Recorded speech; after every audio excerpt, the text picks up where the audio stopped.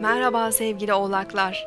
Gün içinde ilginç olaylar yaşayabilirsiniz ve bunlar sizi kendi yaşamınızdaki gelişmeleri sorgulamaya itebilir.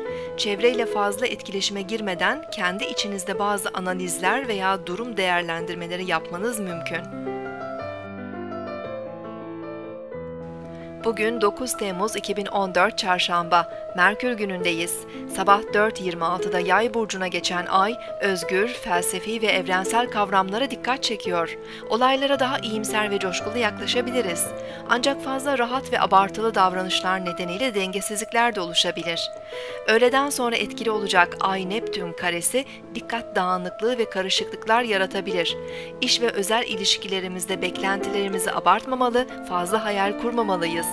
Yaratıcılık gerektiren hobiler ve sanatsal konularla ilgilenebiliriz. Bugün Yengeç burcundaki Güneş ve Akrep burcundaki Satürn arasında üçgen açı kesinleşecek. Uzun vadeli iş ve girişimlerde güven ve istikrar oluşturmak daha kolay olabilir.